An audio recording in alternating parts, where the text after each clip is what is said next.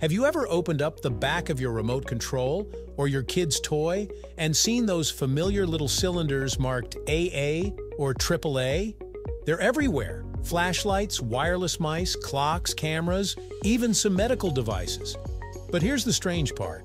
We've all heard of AA and AAA batteries, but why don't we see just plain A batteries? And what about B batteries? Do they even exist? Today, we're diving into the surprisingly quirky history of battery naming, why these letters stuck, and why some letters seem to have gone missing along the way. Right here on History of Simple Things.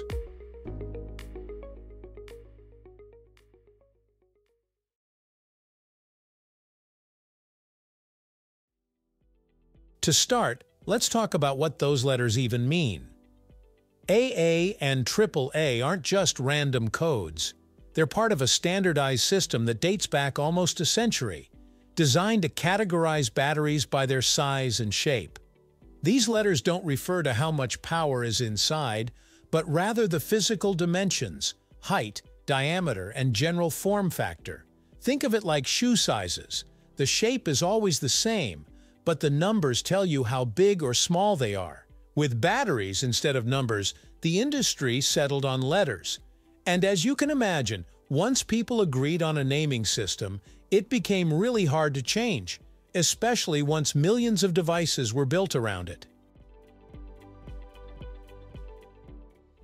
To understand where AA and AAA came from, we need to rewind to the early 1900s.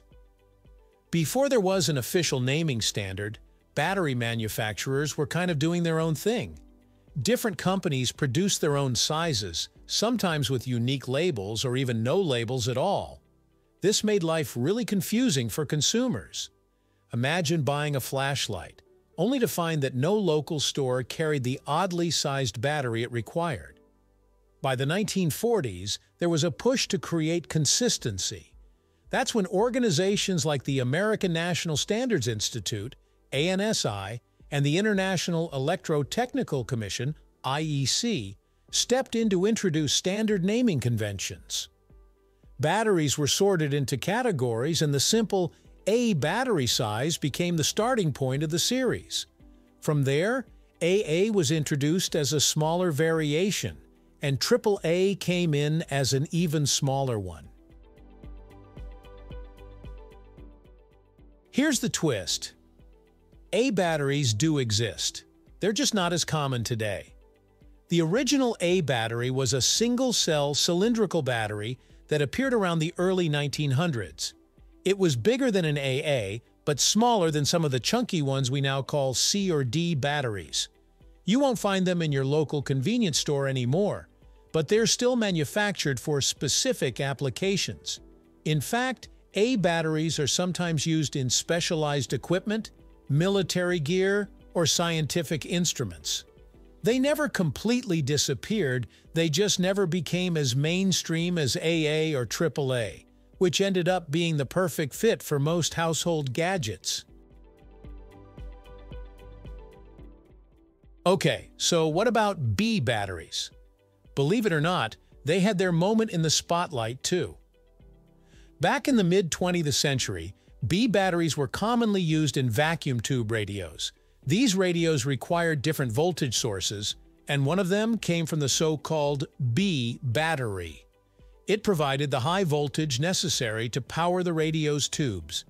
As technology advanced and vacuum tubes were replaced by transistors, the need for B batteries faded away. And since they weren't needed in everyday consumer products anymore, they basically vanished from store shelves. That's why you don't see a little B battery hanging next to your AA and AAA packs at the supermarket. Now let's talk about why AA and AAA became the most popular. The short answer is practicality. The AA battery hit the sweet spot. It was compact enough to fit in small devices, but powerful enough to run them for a reasonable amount of time. It quickly became the standard for flashlights, radios, toys, and later on, TV remotes. Then came the AAA, introduced in the 1950s, when electronics started shrinking even further. portable tape recorders, slim flashlights, and eventually things like remote controls needed something smaller and lighter. Triple A batteries fit the bill perfectly. The balance of size and capacity made them ideal for low-drain, everyday gadgets. If A, AA, and AAA exist, then what's up with C and D batteries? These bigger cylinders were also part of the standardized system. C batteries are fatter and store more energy, making them useful for things like portable radios or toys that need a bit more juice. D batteries are even larger, built for high-drain devices like big flashlights or boom boxes.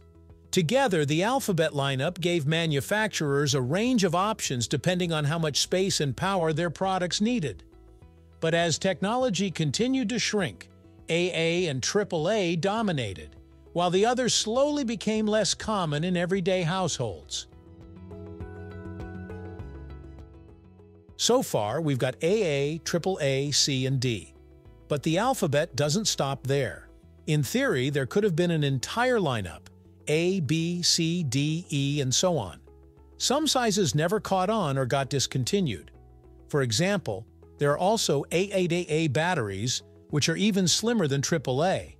You've probably seen these in small gadgets like laser pointers or styluses. Then there are button cell batteries, those little coin-shaped ones used in watches or hearing aids. They don't follow the letter system at all, but they're still part of the standardized world of portable power. So the alphabet naming convention coexists with other naming styles, creating a weird mix of letters, numbers, and codes. So, why don't we see A or B on store shelves today? The main reason is consumer demand. Electronics manufacturers stopped designing products around those battery sizes, and without demand, stores had no reason to stock them. Once AA and AAA became the global go-to options, the other sizes got pushed into niche markets. It's a bit like VHS tapes or floppy disks. Once a newer, more practical format takes over, the older ones fade into obscurity. A and B batteries didn't disappear entirely, but they slipped out of the mainstream because they weren't as universally useful. There's another key reason why AA and AAA remained while others fell away – standardization. Once the consumer market decided that AA and AAA were the most useful, manufacturers designed more and more gadgets around those sizes. This created a feedback loop. Devices needed AA and AAA, so stores stocked more of them, which encouraged even more devices to use them.